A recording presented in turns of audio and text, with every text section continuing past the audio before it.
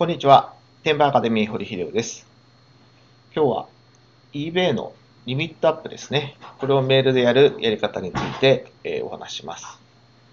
えまず、まあ、リミットアップ。まあ、これ私のリミットなんですけど、600か8500ドルと。まあ、これ eBay 始めて2ヶ月ぐらいで上がりました。で、えリミットアップのアピールですね。え電話もメールもしたことないです。まあ普通に取引してたらアップしてったと。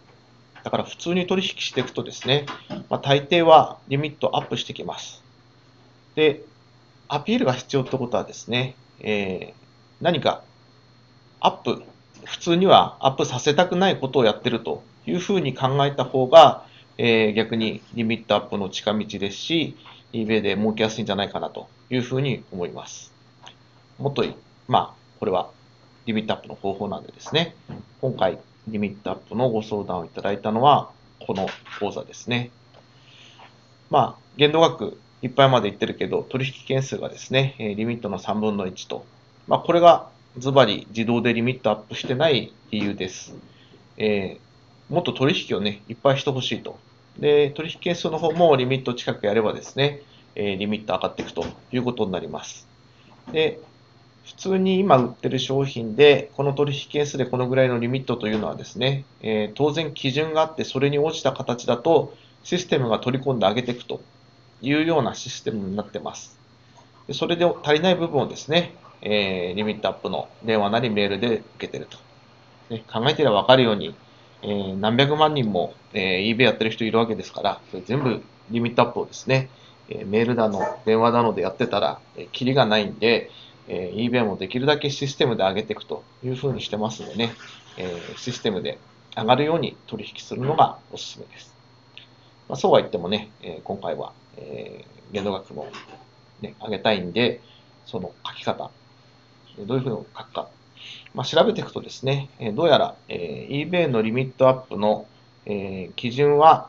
ちゃんとそのリミットアップのね、サポーターが持ってまして、わけのわかんない文章を書いて送った人とかにね、えー丁寧にこの項目どうだと質問してきたのがあります。で、それはもう質問決まってるんで、アピールポイントもここで OK と。まあ、これらの質問に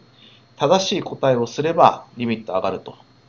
間違えた答えをするとリミット上がらない。上がらないどころか、下手したら、え下がるか、いきなりね、リミットアップしようと思ったらサスペンドということもね、起こり得るんで、これはあのきちんと、えーした答えをしてください。もちろん、テンバーアカデミーの会員さんは、えーこの答えですね、書いていただければ、えーここはこう直しましょうと、こういうふうなアピールした方がいいですねっていうのを書いて翻訳させてもらいますんで、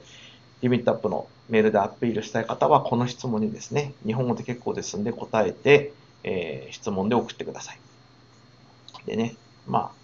どの答えが正解かっていうのはね、えーこれ嘘ついてもしょうがないんで、現状に合わせて、え正しい答えを、え書きます、えサポートします。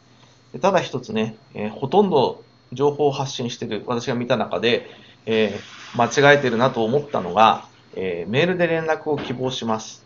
なぜなら私はあまり英語ができませんと。ね、英語ができないアピールしてる人いますけど、eBay では英語ができない人をですね、歓迎してません。だってほとんどの人は英語で取引してますんでね、わざわざ英語できない人同士で取引したらトラブルになるに決まってますんで、英語ができない人は取引してほしくないというのがあります。これはよく覚えておいてください。ですんで、えーまあ、メールをね、えーもらったら、でも英語できないよと。電話かかってきても何言ってもわかんない人。ね。えーほとんどの方そうでそうだと思いますし、私もね、え以前はそうでしたんでよくわかるんですけど、その場合は、えできないというアピールじゃなくてね、幸いなことに、えーアメリカと日本は時差があります。ですんで、時差があるから、えーメールでやり取りしたいというふうに書けば OK です、えーわざわざできないアピールはしない方がいいというのを覚えておいてください。えーまあね、その辺は根本的なことなんですけど、私が見た限りだとね、えーリミットアップした人、ほぼ全員間違えた回答をしてました。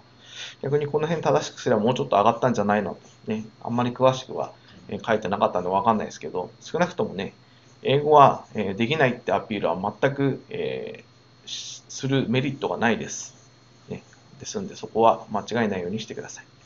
であと、ね、それに応じて、この答えの方もですね、えー、おそらく間違えたアピールしてる方いますんで、えー、ここが、え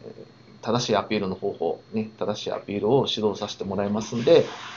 この質問に答えた形で、この今のリビットとね、えー、先月の取引をしたのを送ってもらえれば、えー、こういうふうにすればリミット上がりますと。でこういうふうにアピールすれば、えー、リミットアップするでしょうという形でですね、サポートさせていただきます。以上、天馬アカデミー、堀秀夫でした。